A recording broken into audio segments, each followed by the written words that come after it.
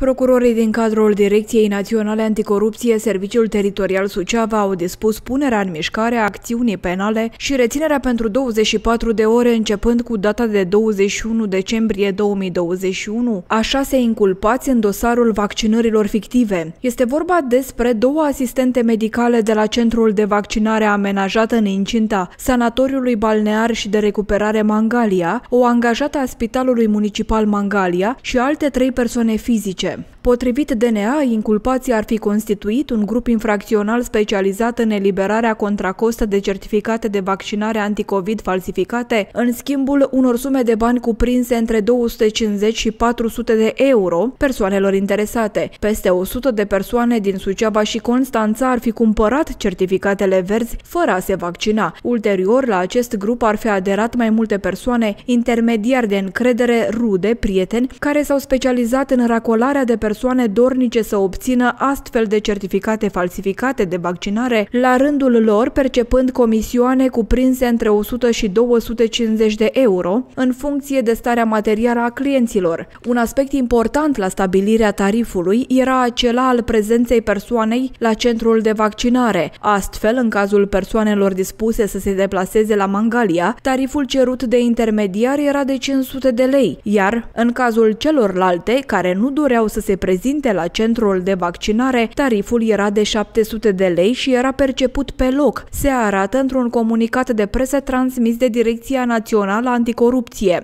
Cu ocazia perchezițiilor domiciliare efectuate la data de 21 decembrie 2021 la cele două instituții publice de pe raza municipiului Mangalia și la cele 50 de locuințe ale persoanelor fizice de pe raza județelor Suceava și Constanța, au fost ridicate, printre altele, sumele de